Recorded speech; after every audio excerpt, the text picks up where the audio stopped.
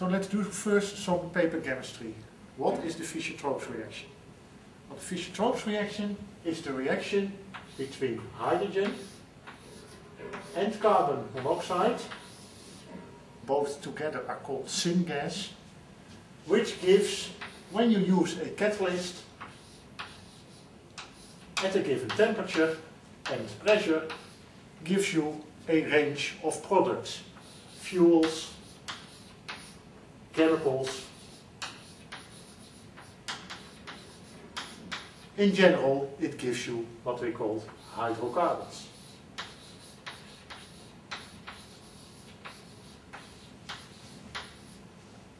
Why is this reaction now so interesting?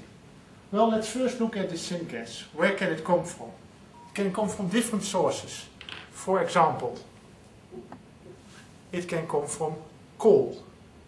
Coal to syngas is a known process. Very interesting nowadays is when you use a renewable source to make the syngas. For example, waste biomass.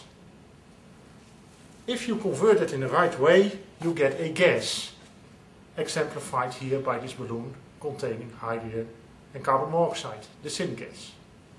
When we have that gas, we can flow it over a catalyst, shown for example here for an iron catalyst, and it gives you then a range of products depending on the catalyst temperature and pressure. For example, you can make clean, clear fuels and you can make all kinds of plastics.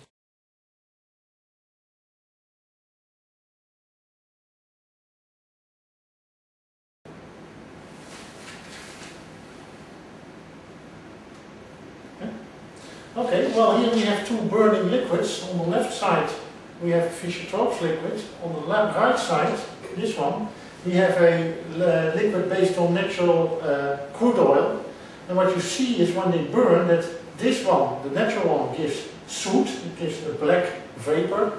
And the flame is a little bit more yellow, meaning it burns more dirty than the Fischer-Tropsch one, which has a more colorless flame and gives you less soot.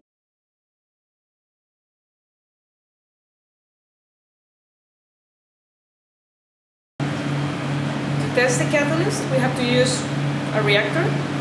We put the catalyst inside. Then we place this reactor in an oven.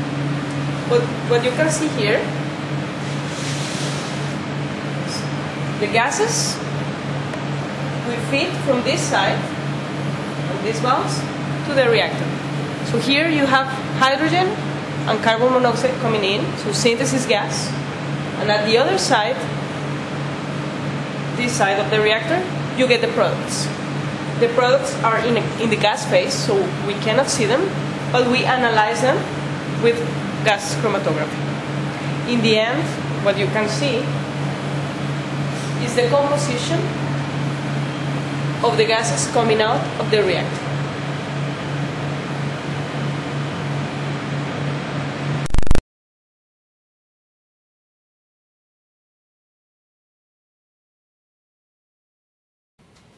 From the Fischer-Tropsch reaction, we can produce fuels, but we can also produce chemicals.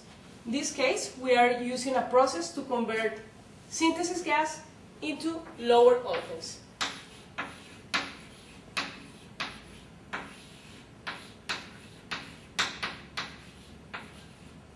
Lower olefins are the building blocks to produce plastics and many other chemicals.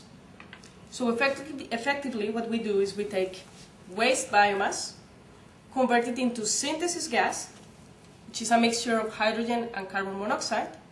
Then this gas is put in contact with an iron catalyst. This catalyst was produced here in this lab, and, and there is a paper related to this work in the Science magazine. From this process, we can obtain the building blocks for the plastics, that, that is the lower olefins, which means that we can produce green plastics normal plastics from waste biomass.